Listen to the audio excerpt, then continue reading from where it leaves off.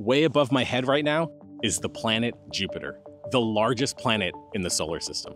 But despite being the biggest planet, it's actually really, really small in the sky. I crunched the numbers and it's like looking at a dime sitting at the top of the Statue of Liberty. Now, anyone can take a photo of Jupiter that looks like a blurry smudge. And I'll be honest, I've worked with telescopes professionally for a long time, but I've never actually taken a good photo of Jupiter.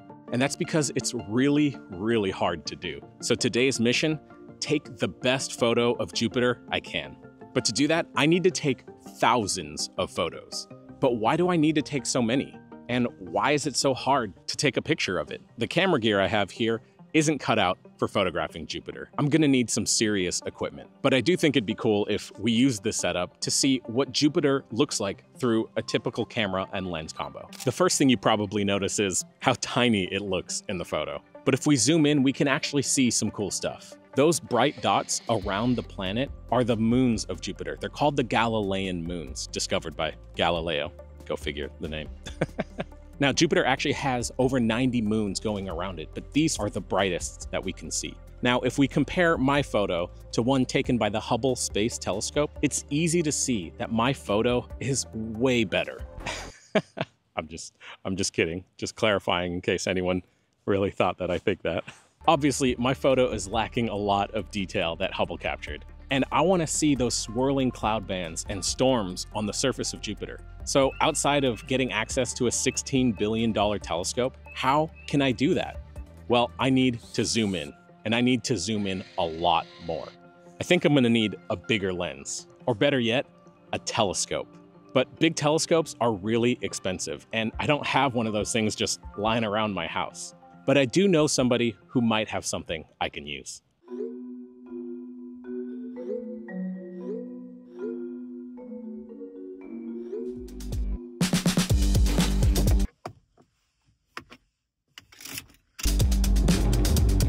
So my buddy Bray Falls has a telescope that I can use to capture Jupiter. And in addition to being one of the best astrophotographers in the world, he also runs the largest observatory on planet Earth, but it's not the largest in the typical sense. And I'll show you what I mean because that's where I'm headed. This is Starfront Observatories. Now I'm told this is the largest observatory not because there's an enormous telescope here, but because it has the most operational telescopes in the world. Now, last time I was here, there was about 20 telescopes, but how many more can there actually be?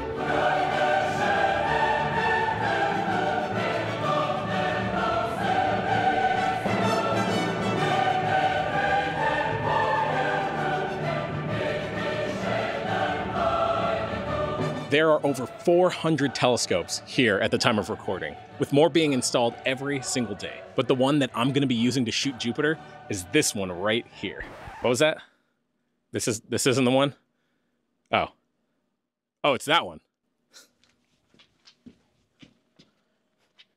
This is the one I'm going to be using to shoot Jupiter with. You know, I've been involved in astronomy for a long time, but most people don't know that if I hadn't gone down the space nerd route, I would have been involved in music. And lately, I've been bringing music back into my life, and it's all thanks to Skillshare, the sponsor of today's video. If you haven't heard of Skillshare, it's the largest online learning community with thousands of expert-led classes in music, business, photography, and more. I already play guitar and drums, but singing has always been on my bucket list. And while I know I sound incredible in the car, if I actually want to improve, I need to put in the work. Just like staying active keeps you healthy, making time for creativity keeps your mind sharp and inspired. So I've been getting my reps in with the class Sing Any Song on Skillshare. It's been super fun, and I've already learned techniques I never knew before. So whether you want to start a side hustle, dive into a new hobby, or just carve out more time for creativity this year, Skillshare has you covered. The first 500 people to use my link in the description will receive a free month trial of Skillshare. So get started today.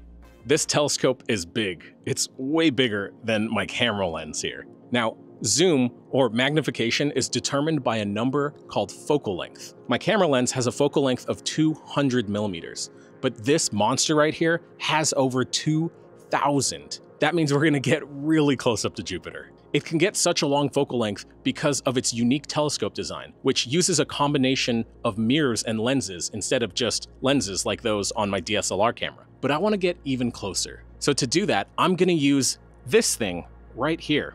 It's called a 2x Barlow lens. So that means we're gonna be at 4,700 millimeters of focal length. But Jupiter has a unique challenge. You already know that it takes 24 hours for Earth to complete one rotation. On Jupiter, that number is 10 hours. Jupiter is a thousand times the size of Earth, yet it finishes one rotation in 10 hours.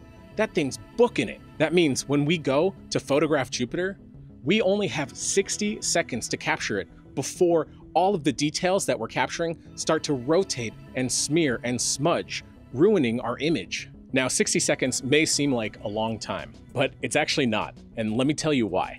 This is a single photo of Jupiter. Notice how grainy it is. That graininess, or what we call noise, is hiding a lot of those details we want to see. I covered this in the past video, but in short, space photographers fight noise by taking lots of photos and stacking them. The details stay the same, but the noise changes, so stacking evens it out. Well, it's already getting dark out here, so it's prime time to look at Jupiter. Let's go ahead and get a live view and see what it looks like.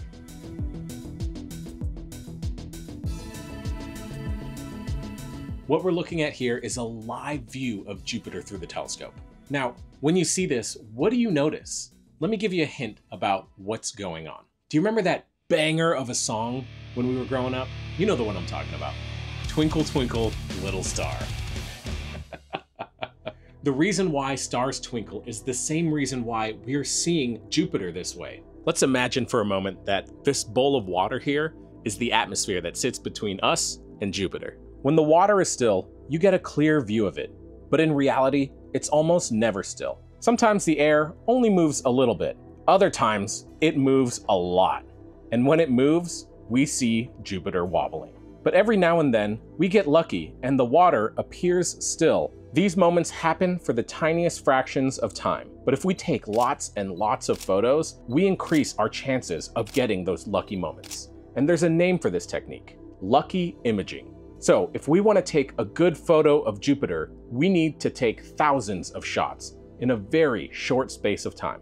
My regular DSLR can take a lot of photos, but the problem is it has to transfer all of those files over, and those are really big file sizes, and that's gonna limit how fast we can take shots. Instead, we're gonna use a camera that's specifically made for photographing planets. It may not look like a camera, but it is. It's called a planetary camera, and it's perfect for capturing photos of things like Jupiter. Let's take a look at a simulation of what Jupiter would look like if I had my DSLR attached to the telescope. Look at all of that wasted space, that blank area where there's nothing going on. That's wasted data. This planetary camera has a much smaller sensor, so it's only gonna capture the information we need. This means we're gonna have smaller file sizes, which means we can shoot way, way faster, up to 136 frames per second. Perfect for shooting Jupiter. So we've got a telescope that's gonna zoom in on Jupiter. We got a camera that's gonna shoot as fast as a machine gun. I think it's time to see what happens when we take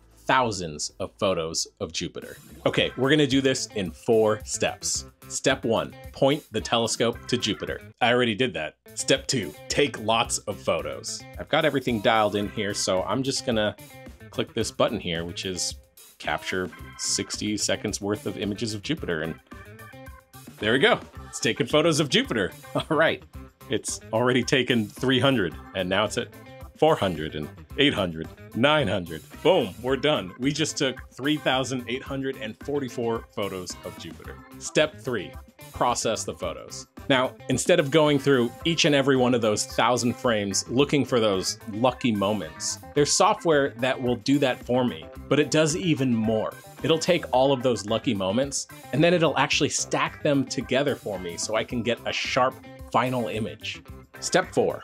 Oh, I don't know why I said there's four steps. I guess there's only three steps. I guess we could make step four like revealing the photo, right? That'll be the reveal. All right, step four is the reveal. After all of that work, all of this awesome stuff, please enjoy my best photo of Jupiter so far.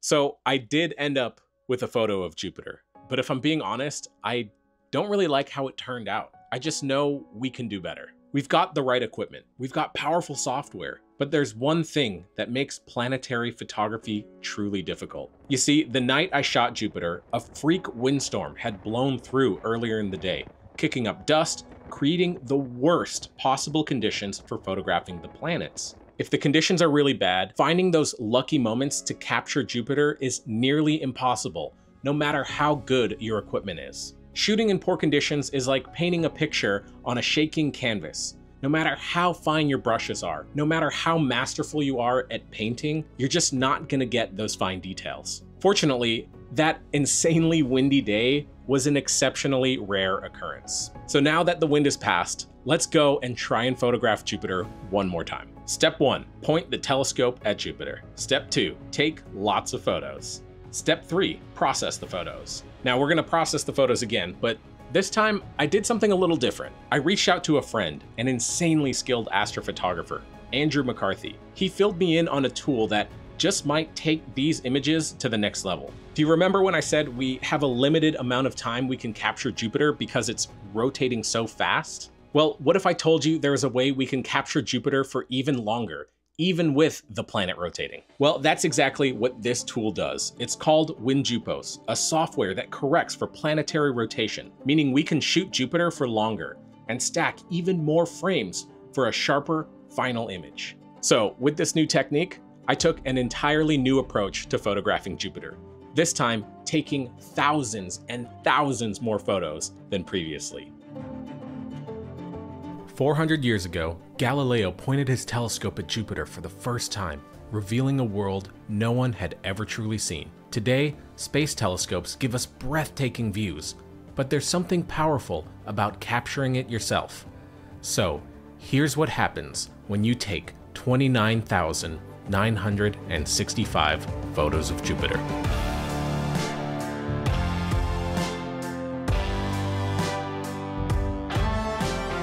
If there's one thing astrophotography has taught me, it's determination. Every challenge, weather, equipment, processing, is just part of the journey. The universe doesn't give up its secrets easily, but if you stay curious and keep pushing forward, the results are always worth it.